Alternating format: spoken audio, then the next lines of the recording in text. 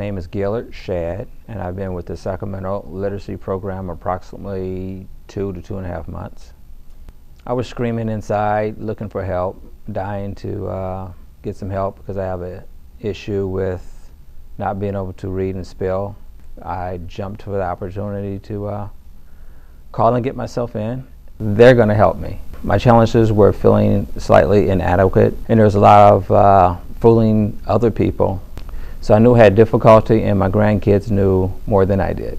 So I kind of let people know that I didn't know how to read right real good. One of my jobs from 1984 as a uh, supervisor, just and I was able to train people and do my job very well. So he promoted me to managing the crew and managing the overseer oversee of the business itself. I knew I had challenges, but I would have people around me to be able to do the things that I couldn't do. If there's any paperwork to do, I say, hey man, can you do this here for me? And he would never knew, know that I couldn't read or write very well. Some people knew I had difficulties reading and writing, and some people didn't. But it was our secret.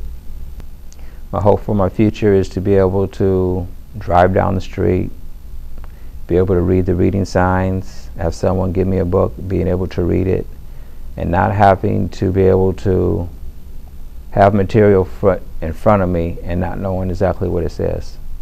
For better clarity of everything in life and be able to operate a computer with no problem.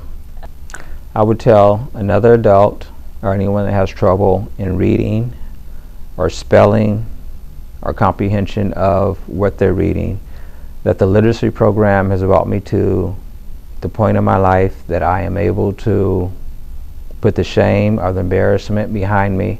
But the main thing is to take your pride, put it down, lay it down because it's you and your life and your future and your kids' future that you are dealing with, regardless how old you may be, without knowing how to read, without knowing how to write properly. It is a world that is very small, and sometimes you have to put your pride in your back pocket so other people can do the same thing and they will be able to understand you and that real person who you really are comes out in you when your pride is put down. That wall that blocks a lot of things of who you are and what you are and all you can be that wall is tore down and you can be, really be who you want to be in life and be more happier and prosperous. I'm Diane Sanford and I found the started in the Sacramento Literacy Program in October 2010. I was in a similar literacy program in Seattle and so when I moved down here I wanted to be in another literacy program. I'm a reader so reading is really important to me, but I had struggles learning to read when I was in grade school. Oh, I have learned patience and I've learned um, that everybody has strengths and you need to find those strengths and work with them.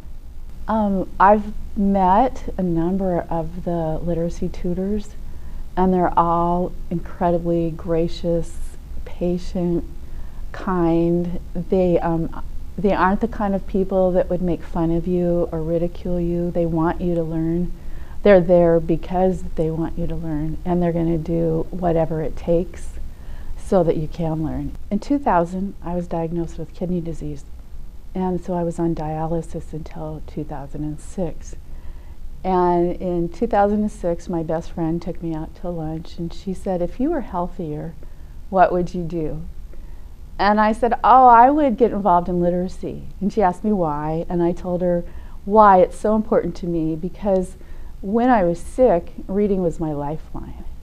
And so I told her that if I was healthier, I would get involved in literacy. Well, little did I know that she had already applied to be a kidney donor for me.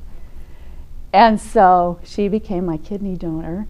And as soon as I was healthy enough, that's when I started volunteering in literacy.